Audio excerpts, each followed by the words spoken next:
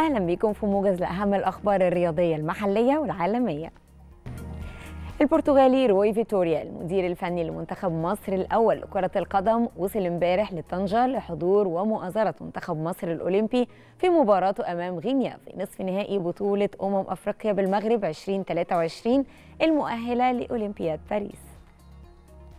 البرازيلي ميكالي المدير الفني للمنتخب الأولمبي لكرة القدم أعرب عن أمله في اكتمال فرحة مصر بعبور مباراة غينيا اليوم في الدور قبل النهائي لكأس الأمم الأفريقية للشباب تحت 23 سنة والمؤهلة لدورة الألعاب الأولمبية باريس 2024 ميكالي قال أنه هدف المنتخب الصعود للأولمبياد والتأهل إلى النهائي الأفريقي. كمان المنتخب الأولمبي لكرة القدم بقيادة البرازيلي ميكالي المدير الفني اختتم تدريباته امبارح استعدادا للقاء غينيا في الدور قبل النهائي لكأس الأمم الأفريقية تحت 23 سنة المقامة بالمغرب. والاتحاد الأفريقي لكرة القدم كاف اختار رباعي منتخب مصر الأولمبي ضمن التشكيل المثالي لمجموعات أمم أفريقيا تحت 23 سنة.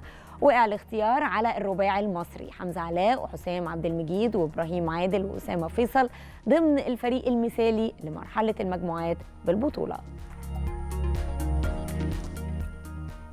فريق بيراميدز نجح في الفوز على نادي البنك الأهلي بنتيجة 3-0 في المباراة اللي جمعتهم ضمن مباريات دور الثمانيه من مسابقة كأس مصر للموسم الحالي 2023 بكده اتأهل بيراميدز للدور نصف النهائي.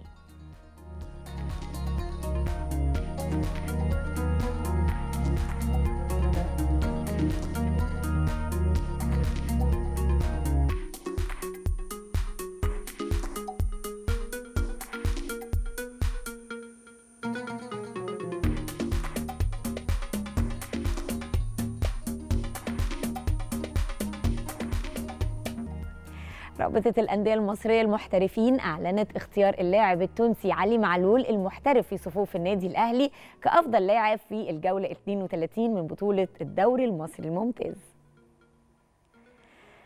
أعلن نادي نيوكاسل يونايتد الإنجليزي بشكل رسمي ضم الدولي الإيطالي ساندرو تونالي نجم وسط ميلان خلال فترة الانتقالات الصيفية الحالية.